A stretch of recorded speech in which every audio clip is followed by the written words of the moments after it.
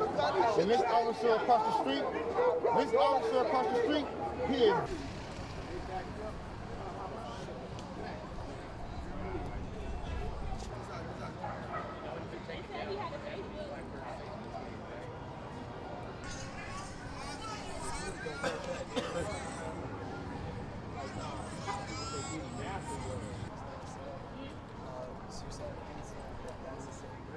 Yeah, he was in the rat.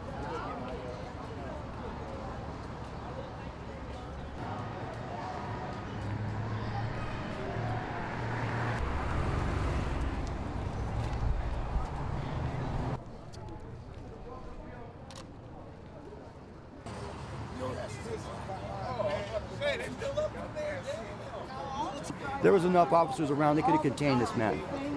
Mentally ill or not. If they can't contain one person, then there's something wrong with them. Brute, unnecessary force is what happened.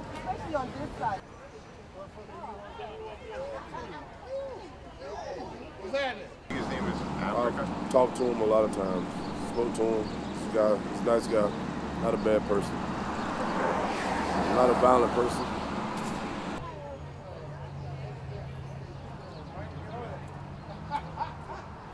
You should be able to talk to this person and get him in control with the nine officers or whoever is around. You should be able to. You're trained to be able to get this guy in control. One man. You don't have to use any type of violence. Never.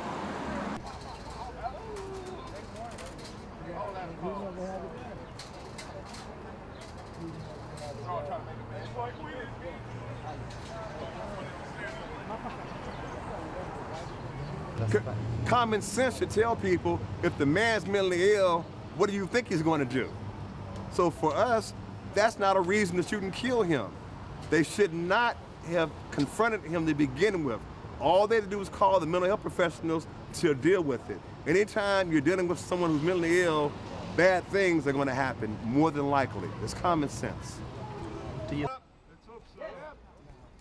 All right. I'm not G. Ali. You can judge a society by how it treats its weakest members.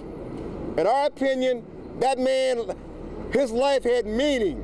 It had value. That's why we're here.